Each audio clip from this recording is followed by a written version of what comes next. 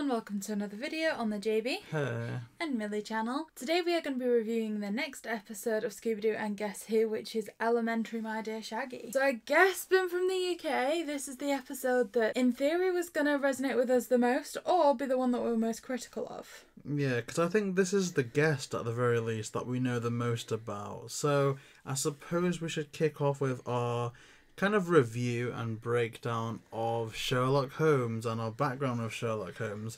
So we'll start with you, Milly. How familiar are you with this character? And yeah, just know. A lot more familiar now I've met you. So JayBee introduced me to the BBC Sherlock show with Benedict Cumberbatch. We've been to 221B Baker Street together. Um Uh, we, I, we I've got a few of the books and everything. So I, I'd say quite familiar. Yeah, I'd agree, and I think I had some more knowledge about it, not based on like the old original Arthur Conan Doyle books, although I do think we have them in the collection. But you know, other materials like the Robert Downey Jr. Hollywood version, which was pretty cool, but primarily it's you know the Benedict Cumberbatch version, and also I suppose adaptations. Like I don't know if you were showing this, but like on like you know the last day of summer, last day of like Christmas, sometimes we were showing like old BBC adaptations like before the Benedict Cumberbatch version. So pretty familiar with the whole story and exciting that it's set in London as well, which we're not dreadfully close to. We've not been there too much, but I mean, how many times would you say you've been to London? I've been at least six, seven. Yeah, I think I've been maybe like twelve, but twelve times. So not a great amount. That for you, that's like once every two years. Like considering we live in the country, it's not huge. No, no. So I guess my next kind of point of conversation is our thoughts on how Sherlock was adapted here. I'm gonna have to say, respectfully, disappointed. Yeah, I think the the concept is cool. Now, I would have preferred an adaptation, of course, of the BBC version, just because you know modern day it would have made sense to go.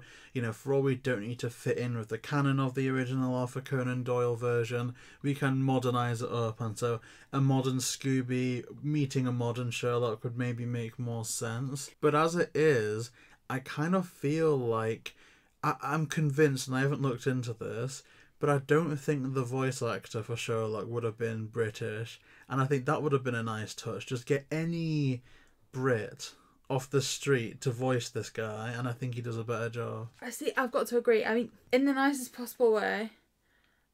Oh gosh, the majority of Americans can't do a real British accent. They get it too posh. Like it's, I think the interpretation that people have of the UK is a far cry from what it actually Although I will is. say, with it being a Scooby Doo cartoon, I don't expect necessarily for like the rhyming slang. I know we're jumping ahead. I I've never cringed so much at a Scooby Doo thing in my entire life, Yeah. including Velma. The rhyming slang was so cringy, but equally, I don't expect them to have these these people go. Oh, get off my railway, wankers! Like, you know what I mean? Like, I don't want them to go too Can realistic. It's the British episode. Like guess this is the. British episode. But uh, yeah, it was just a far cry from the truth, I think. And I think when there's been so many iterations of Sherlock, it would have been nice to have an actual Sherlock voice it. But then at the same time, it's that annoying thing that Warner Brothers are doing with Scooby at the minute where they get a good concept but refuse to 100% commit to it. So this couldn't be Sherlock, it had to be Crazy Sherlock or whatever it was. It's odd. It's it's almost like the way, and this is a weird comparison, but this is the best one I've got. Like how Warner Brothers and Scooby Doo treated the zombies from Zombie Island in Return to Zombie Island. How they treated Vincent Van Gogh in Curse of the Thirteenth Ghost versus the uh, Thirteenth Well, Ghost of Scooby More It's like than that, even just how they treated the ghost in Well, episode two of this series. No, no, because I'm, I'm. This is a separate analogy. Okay. It's almost like they had an original Sherlock and Scooby Doo movie back in the day, where Sherlock was real. He lived at two two one B Baker Street. All of that was real, and now they've come in to do a remake where they have to add in seeds of doubt, like, oh, this isn't the real Sherlock. You know, seriously, this is a fake. This must be some crackpot Sherlock. It's almost like they're trying to retcon it from not being the real Sherlock because I don't know. Like Sherlock isn't supernatural. Like I don't understand why have a Sherlock, and then Not go out of your way to go. Well, this clearly isn't the real Sherlock. Now a million percent, I am willing to bet. If we went to London right here, right now, we could meet a guy high as a kite, convinced he's Sherlock Holmes. I have no doubt about that. But I think to go that direction with this is a little bit odd. No, I have to agree. It's just strange. I don't know why they took it this route. If you're gonna have a Sherlock episode, just commit to it. It it, it just wasn't.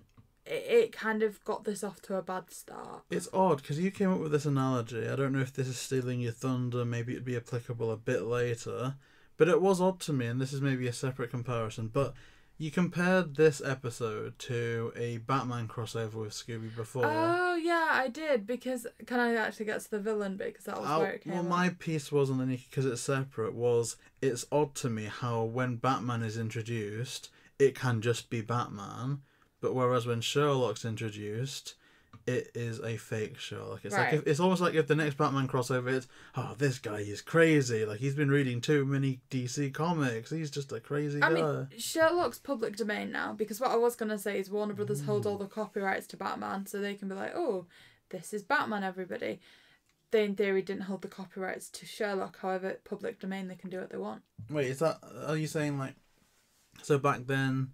It So- may not have been in public domain, so they had to make it fake. Whereas now, no, no, it would it would have been in public domain when this was done. My initial mindset when you said that was, "Oh yeah, but Warner Brothers try and promote all their Ah. stuff, so that's why it's their stuff." Whereas if this wasn't public domain, they have to do something to convince people that they're not just recreating Yeah. However, public domain, you can do what you want. So sure, so Scooby could meet up with Peter Pan and Winnie the Pooh. In theory. That'd be cool. So yeah, I, I really didn't like this initial interpretation of Sherlock. The voice was off. I think the direction was a bit wacky. Again, I'm not against if they just wanted to make it some some well, I don't know what the politically correct term is, some crackhead in London that's gone to like some dodgy place in Soho to like you know what I mean to do hmm. whatever people do on a Saturday night in Soho, whatever. And then he's convinced he's Sherlock. That's fine, but I just I don't know. I don't know. I think there's so many missed opportunities here. Like even a mind palace type thing, or Sherlock actually deducing things as opposed to running around saying wacky things. Like I think that was a bit odd. No, I agree, and I also agreed with you on the Cockney rhyming slang thing that they didn't actually know it was a Cockney thing and just just associated with London. It's actually an outskirts of London thing, but is what it is. I mean, obviously, there's this, you know, we can say this from this way round. Probably us in the UK, we've done similar things where there's been an episode set in America and it's been stereotypical root into it and stuff that isn't accurate. But I think to make it a little bit. I don't know what this was. I think it was very much London for kids. Like, you know, an American kid could watch this and laugh at, oh, there's the funny Brits with their funny apples and pears. But again and i kind of feel like if this was the other way around not in terms of america but in terms of a non-country like like say india if it was scooby-doo goes to india mm. and there was a load of like stereotypical inaccurate you know stereotypes of people there i kind of feel like it's like a cancelled episode I think they should have had a conversation with Joe Sichter because the one thing that Scooby did right in the UK was Loch Ness. And uh, obviously it's like, oh yeah, it's the Loch Ness, how could you get that wrong? But there was just little details of like Scottish songs and stuff in there. They got it right.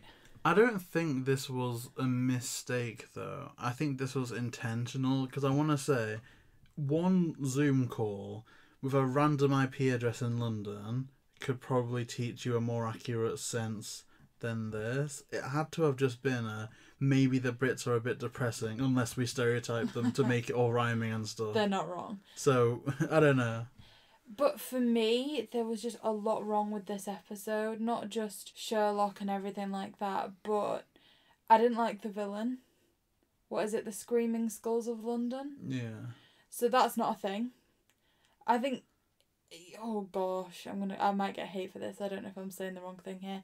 The UK has such a substantial amount of history. It's one of the most historic places imaginable. We've got castles everywhere. We've got so much history and so much that could be drawn upon that I kind of don't get why you have to create a green cloud.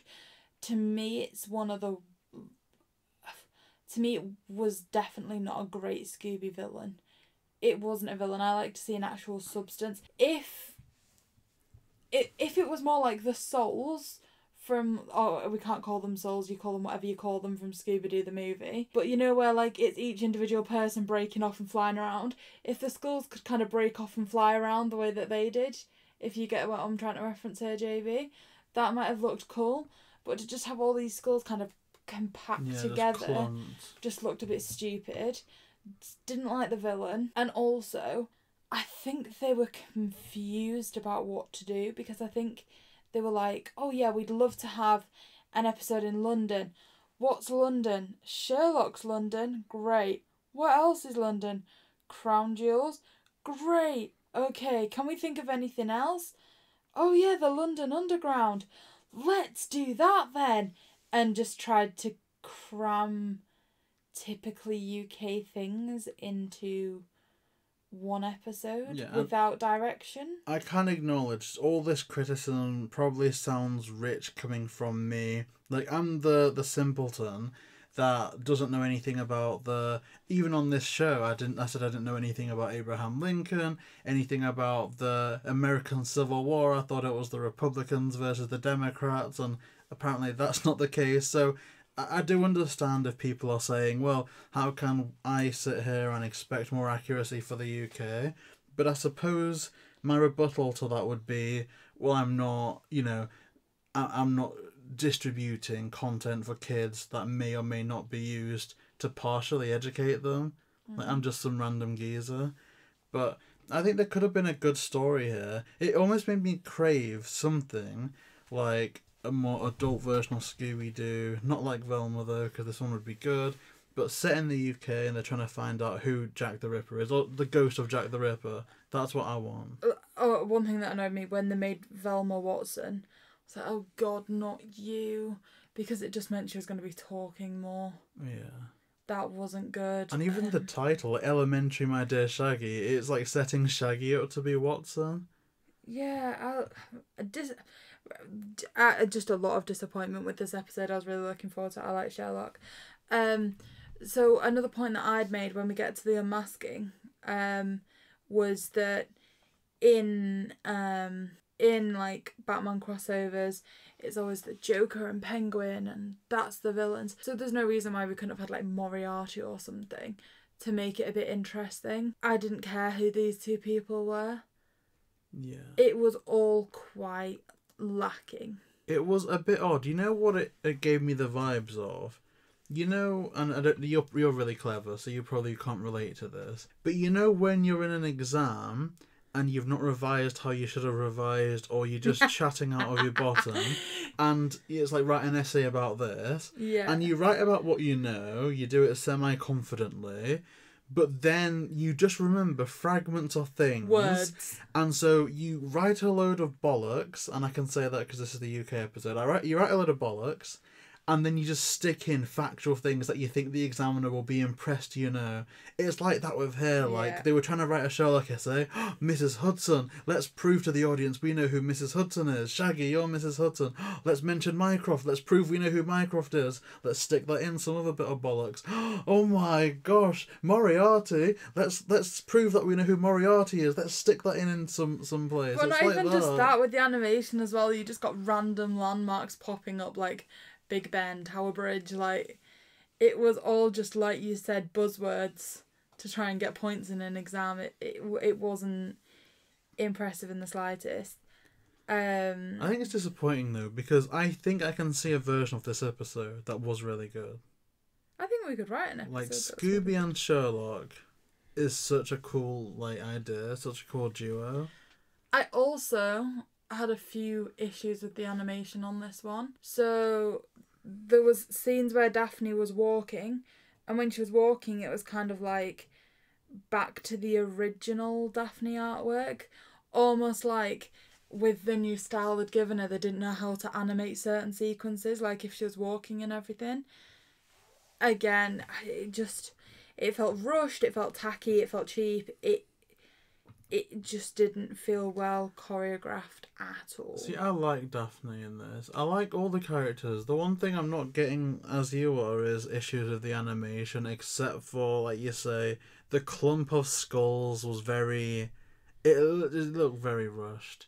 The people, I don't know. I didn't find too much of an issue with them. Equally, I did like what they did with the colouring in like Sherlock's laboratory. I mean that was all cool, especially how we got like a little red shirt shaggy Easter egg. It was a bit different than what we've seen in the rest of the series. But for me, it, it was a little bit like what is it? Um like lipstick on a pig. Like I like what I was seeing, but at the end of the day, it was kind of oinking at me. It was burping in my face. It wasn't it wasn't impressive. It still stank. It did stink. Oh. And so it's without any shadow of a doubt, naturally, this is a definite pass for me. I'm going as far as to say this is in my bottom five of things we've reviewed. Maybe. I don't think it helps that I'd set my hopes very high, but they were very high. And this didn't deliver on a single front. I think it disappointed me more, and but I do feel sorry for the creators because I, I have to believe a part of this comes down to budget. Because I compare this now in hindsight with the Sword and the Scoob, which people we know don't like. Some you know, I love Like, Sword on the Sophie Scoob. didn't like Sword and the Scoob, and I, and you know I see why, but it personally, I personally loved it because even for bit parts like Merlin, they made sure to get notable British actors on board. Like you had Jason Isaacs as Arthur, you had um, uh, what's his name? Why am I forgetting it? Nick Frost as Merlin.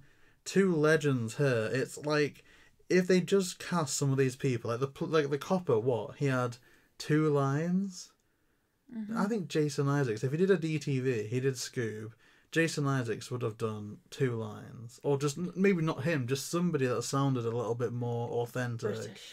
Like anyone from Doctor Who, or Corrie, or EastEnders, or Casualty. Name any BBC grade show would have done these lines for two more, and it may not have been as funny and kooky and apples and pears wacky, but I think it just would have felt a little bit more, you know, natural as opposed to let's get you know Alistair Smith from Texas to do his best London accent. See, at this point as well, I kind of need to say we're four episodes into the show, and I'm disappointed because I enjoyed the first episode, and I've not enjoyed an episode since. Really? And I just feel like I don't know. I just it just doesn't seem authentic or like they had vision or anything and it's a shame because I think the first episode was trying to set up something very good that slowly went not even slowly rapidly declined. I mean, we've spoken about the UK, and I will say, for obviously, like I've I've dwindled a bit, but this is definitely a pass for me, a significant pass. So far, it is my least favorite episode. But like I was complaining a little bit at first that the first couple of episodes maybe were too American centric. We've gone from Sherlock in this episode to the next episode being Ricky Gervais, which I don't know if that's set in London or if it's because I know he also lives part time in New York as well.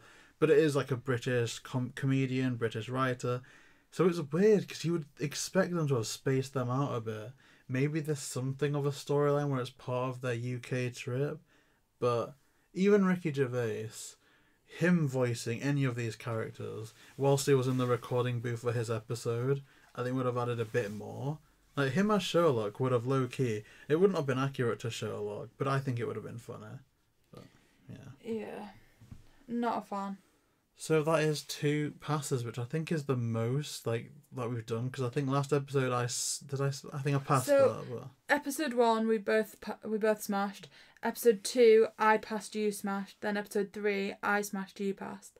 This is the first one we both passed. Ooh, so it doesn't pass the bleh, doesn't pass the British test, and apparently neither did I with that of that language. that was kind of ironic, but it's okay. You know, maybe if you guys did like it, comment down below that you think we're we're full of we're full of it because I do acknowledge maybe it was just we were so hyped for Sherlock, so hyped for some London representation that it was a little bit disappointing.